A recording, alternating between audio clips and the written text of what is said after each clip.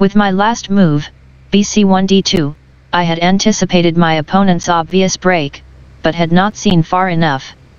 It transpires that the bishop needed to be on f4, when white was probably a bit better. d5 captures c4. Bishop e2 captures c4. c6 c5.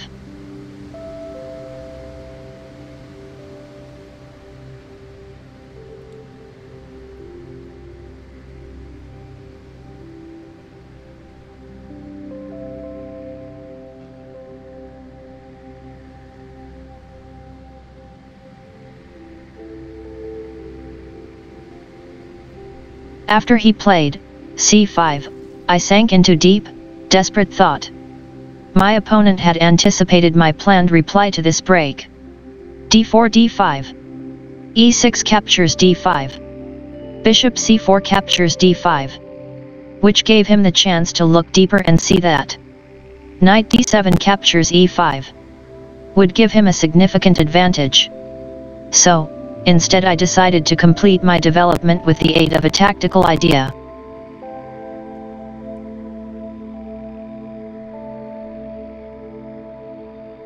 In retrospect, it would have been better to fight for equality with d4 takes on c5.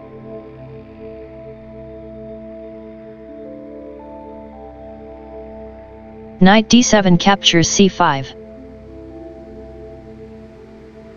Knight b3 captures c5. Bishop e7 captures c5. a5 a6. b7 b6.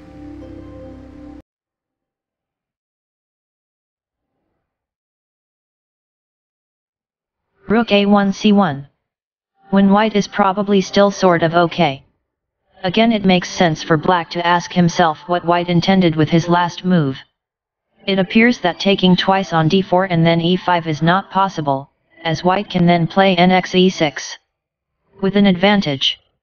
Armed with this knowledge, my opponent looked for a flaw in my thinking, and found it.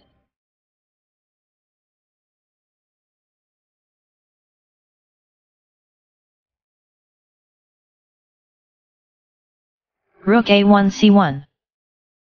Knight f5 captures d4. The main point is seen after.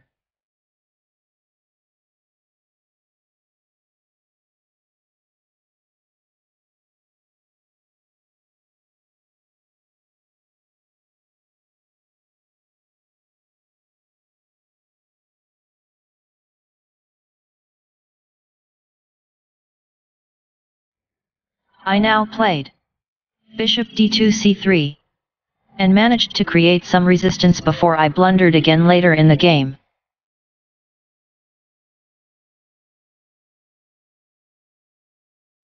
Knight b3 captures d4.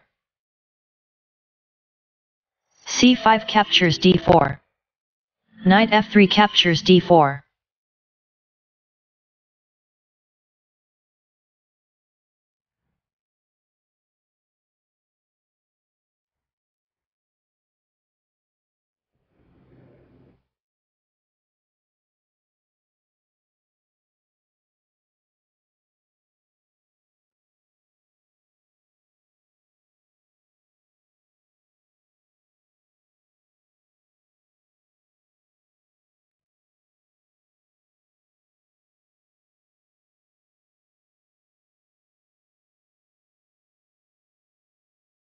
As said, black will not fall for. Knight d7 captures e5. Knight d4 takes on e6. When white has the advantage. Rook c8 takes on c4. Rook c1 captures c4. Bishop g6 d3. And the e5 pawn will be lost.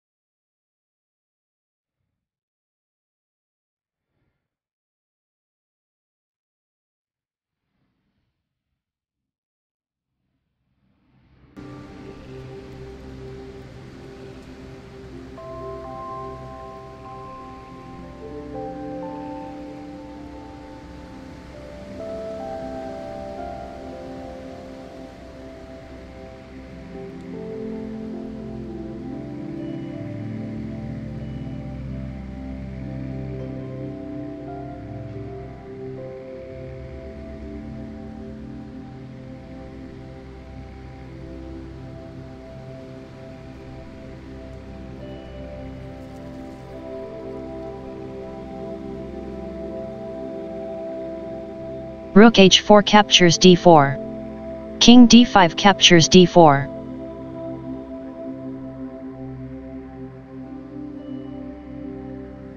King d1 e2.